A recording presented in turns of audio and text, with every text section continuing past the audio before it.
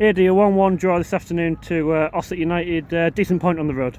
Very good point. Um, you know, I think um, we played some absolutely lovely football there. Um, went 1-0 down in the second half. Um, one of those goals that, you know, I, I, couldn't really see if anybody was to blame on marking at the, the, corner. Probably not. It was just a very good run by Paddy Miller, goal. Uh, but after that, I think we dominated the game, didn't we? You know, there was chances there. Um, their goalkeepers certainly kept them in the game. Um, I've heard he's um, young lad on loan from Leeds United, and I saw, um, you know, that he's got he's got quality, hasn't he? But on the same token, that save Itchy made in the first half, outstanding, outstanding. So yeah, fair result. I think you know we could have we could have gone on and nicked it at the end, but you know fair result. And as well as Itchy's uh, good save that you mentioned, his uh, distribution particularly was excellent um, throughout the game. Uh, it was a good performance from him. I, have mentioned to him on, on several occasions since that mistake that he made at Grantham all those moons ago. He's been he's been superb. He has. He's he's his distribution, his shot stopping, he's talking, um, he's commanding the box. I think Itchy's been absolutely incredible since that that first half against Grantham. He's been superb, and you know, long may it reign. You know, long may it continue. He's, he's been he was decent. He, he has been decent again today you mentioned uh, sort of the performance after we conceded and how we kept on going, but um, at one point we were having a lot of chances and the ball just didn't feel like it was um, going to go in the back of the net. Did it feel like it was going to be one of them days at one point? With 15 minutes to go, I honestly thought we would score.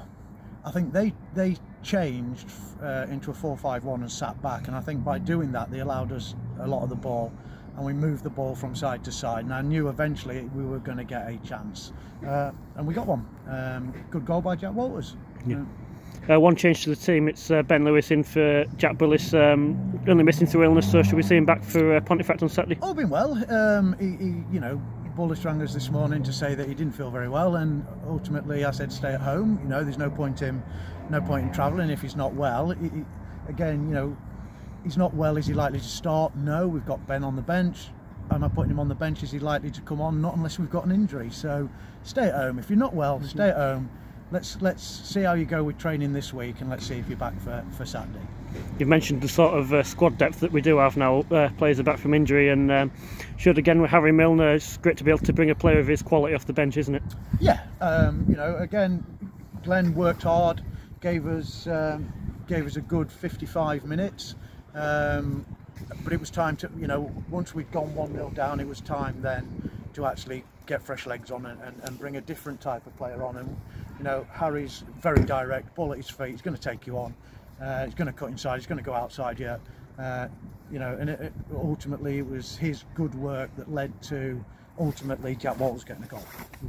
And as I say, uh, win your home games, draw your away games, and you won't be far off. And uh, as of late, we've been doing that, haven't we? Yeah, you know, it, it's it's it's keeping that run together where you're not losing. You you, you mentioned quite a lot about you know losing five on the bounce. Losing becomes a habit. Not losing can become a habit as well. So you saw there from the boys 1-0 down and 15 minutes to go we're taking the game to them and with three minutes to go we score.